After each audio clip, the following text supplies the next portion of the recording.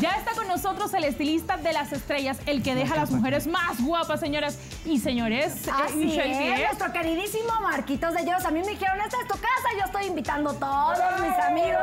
Así Bienvenido. que traje a mi Marquito de Dios, precioso y muñeca. espectacular. Que es, Mira, tú no sabes la leyenda que es este hombre y las cosas tan maravillosas que hace. Y hoy nos trajo una modelo maravillosa que además va a donar su pelo para hacer una peluca oncológica. Qué bonito. ¿Nos puedes este, decir más o menos qué le vas a hacer, Marquitos? Claro que sí. Mira, eh, en, esa- en el caso de nuestra modelo, mira, yo siempre he estado mucho en la idea de que el visajismo Ajá. es aquel que estudia, analiza lo que es tu rostro, tu físico, tu piel, tu personalidad. O sea, realmente no enfocarnos a que sea una tendencia. Vamos a pensar que cada uno tenemos un estilo propio y yo no soy de la idea de copiarle a nadie, nadie. porque realmente somos únicos e irrepetibles. Así es, yo siempre me corto el pelo con él, no hay quien me deje el pelo mejor que él. Tiene buena Ay, mano, me han No, dicho. hombre, Tiene y buena además mano hace un conjuro ahí.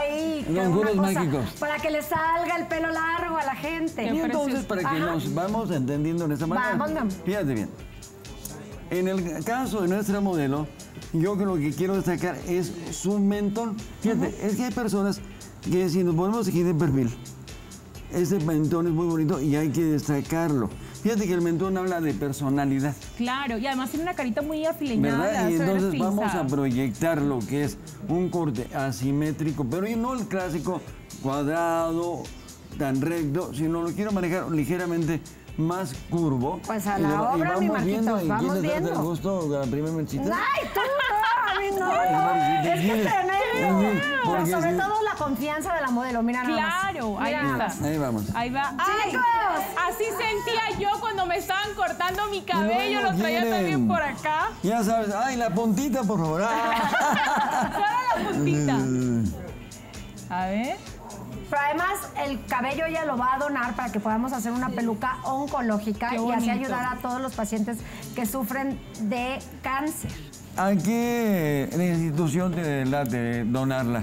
Pues que nos escriban a las redes de tu casa TV. ¿Qué, qué te parece, Marquito? Que nos escriban, que nos cuenten su historia y a quien este, podamos tener en, en las redes sociales Ahí que nos cuente redes. su mejor historia, ahí vamos a hacer la donación. ¿Qué te parece? ¿Pero institución o persona? Pues ahora sí que se yo apunten creo que es todos institución, ¿no? a una institución, entonces. ¿Podría ser que Teletón?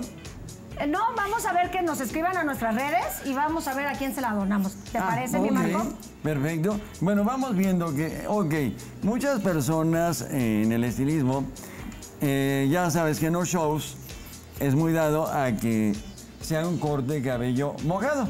Ajá. Como lo... Eso te iba a preguntar porque regularmente Sí, uno se sí, corta sí, el cabello con el cabello mojado. Exactamente. Pero aquí está en seco totalmente. Ahí te va. eh, fíjate que es muy curioso porque cuando un cabello está tan liso, eh, realmente a mí me, me gusta como que ya darle la caída como va a ir quedando eh, en seco. O sea, digamos que cuando ya tienes tanta experiencia en el ramo, Así es. entonces yo te quiero decir que, pues como bien diría por ahí Dulce, la cantante, mi amiguita, que es. mando un saludo, dice que cualquier gallo en cualquier palo canta. ¿Cómo es el dicho? Sí, o Eh, sea, eh, en cualquier gallo, el, el gallo canta en cualquier palo. Así es. ¿no? Así es. O sea, y que realmente... Ah, ah, eso por ahí va. otra cosa. Por ahí va. No sé, yo soy la peor para los, para los, este. Para los Para los refranes. para los refranes. Ve, ve que entre dicho me pones, mi querido Marquito, de No, verdad. pero está padre, mira, y realmente otro detalle. Es El importante. perico donde quieres verdes, Marquito. Eso, eso. Es muy Eso bromista, mi No, mira, es muy en- en- bromista. hace muchos años, eh, yo también empezaba en esto del estilismo, se cortaba en seco. Ah, sí. O sea, eh, y de hecho, yo creo que para cierto tipo de cabello, no es para todo el mundo, yo creo que es para cabello lacio. Y sobre todo si tienen un cabello sano, obviamente. Exactamente, porque si es un cabello rizado, mucho, voluminoso, y nos vamos, ¿qué te gusta? A un lugar como que tengan tendencia a un cabello muy cerrado el chino, se nos va a ser muy complicado cortar en seco, por Además, mi querido Marquito lleva mucho tiempo en esto y la Sí, verdad todos quienes hemos estado en sus manos confiamos en su capacidad y confiamos en lo que él hace. Y eso es muy importante a la hora de escoger un estilista. Marquito, vemos que lo de hoy es el cabello corto. ¿Les luce a todas las mujeres esa tendencia? Mira, qué ¿O bueno tendría que que, lo- ver con la forma del, del rostro, tal vez? Qué bueno que lo comentas, porque sí es cierto, hay una tendencia muy fuerte de cabellos cortos, como que hubo la tendencia de las extensiones, como que hubo la tendencia de tener los, el, eh, color de, de colorado, ya es las De menos a más, el balayage. Exactamente. Ajá. Pero mira, yo creo que el cabello corto le viene muy bien para aquellas chicas que quieren ser prácticas, ¿no? Y aventarse, porque si no lo haces cuando eres joven, ya cuando ya eres una persona madura, el cabello corto, a señora, fíjate qué curioso. Ah, sí. O sea, el cabello corto, una mujer a lo mejor de 50 años, todavía soporta. Le da más edad. Le da más- eh, pues, no, fíjate lo que me acuerdo es, podía verse más joven. Es que ahora las, las niñas, o sea, las jovencitas, se visten como la mamá. Y las Y mamás la mamá como, como las las, hijas. las hijas. O sea, entonces digo, a ver, Chayito, ahora sí, tu, mera ma- tu mano santa mientras vamos platicando. Fíjate que yo, a lo largo de mi trayectoria, les quiero decir que eh, algo muy padre, fíjate, el premio que no hemos comentado, por cierto, Así es. Premio Mundial de Estilismo, The World Master, the World Master of the Craft, maestro de maestros de la tijera a nivel mundial, por primera vez otorgado un estilista mexicano, en la Mexicano historia. que es el señor Marcos de. Dios. Claro, claro. Y este premio se otorgó en Nueva York.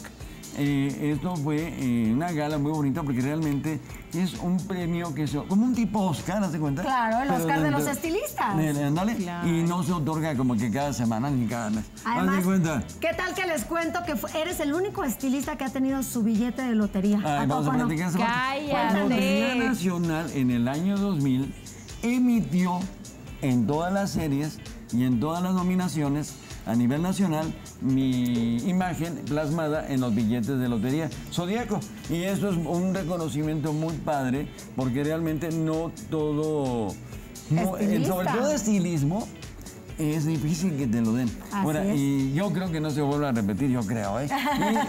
Y por ahí, mira, imagínate, mis manos, mis manos plasmadas en el paseo de las luminarias, que sí, hay otro estilista más que no vamos a decir su Así es. Pero, pero sí, somos dos nada más. Pero otra cosa, fíjate, que realmente yo creo que cuando ya naces con el don, en este caso mi mamá toda su vida de estilista, Y tú te criaste con tu mamá todo el tiempo viendo lo que ella hacía en pegado. su salón. Claro. Entonces es tu pasión, te apasiona, ¿a poco Una no, mi pasión. Marco? O sea, yo decía, mira, una de dos.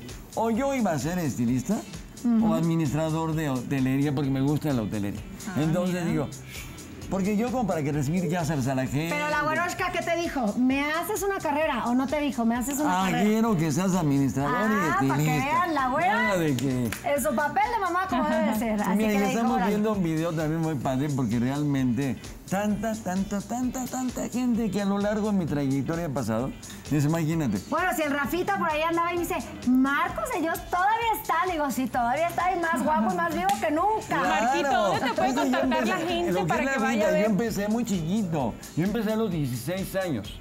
Entonces, imagínate. Así, mi madrina, por supuesto que lo tengo que reconocer, eh, Yuri, en, eh, en, en la época de los, cuando ella era osito panda, imagínate. No, bueno. Mi, ma- mi madrina. Tu en- madrina en fue el medio artístico. Oye, Marco, dinos dónde te pueden encontrar rápidamente. Londres 112 Zona Rosa. Y recuerden que Marcos ya ha pasado sus. Fíjate, mis manos en el me- Melena en paz descanse de Juan Gabriel. El estilista de las estrellas. Sí, Indudablemente, mi querido Marco, Así. gracias por venir a tu casa. ¿Cómo Puedes regresar Vamos el a día ver que quieras y mira ¿no? nomás cómo Vamos a está la la chamaca. terminada. Además, el rostro de nuestra modelo está precioso y le luce divinamente este corte. Me encantó. Muchas gracias, Marco. No, hombre, a ustedes. Eres de Venezuela, ¿verdad? Colombiana. Colombiana. Ándale, pues. Ya te ando poniendo otro país. El acento. El acento está parecido. Pues sí, muchísimas gracias, Gracias. Marquito, por venir a tu casa. ¿Qué Es tu casa, gustó? me fascinó. ¿A ti te gustó mi corazón? Mira nomás. Preciosa. muchísimas gracias. Y aquí tienes tu casa el día que gustes. Gracias a ustedes. Muchas Y nos gracias. vamos a un corte comercial. Así Regresamos es. con más aquí en tu casa TV. Gracias, Marco. Gracias, gracias a ustedes. Gracias, Chayito.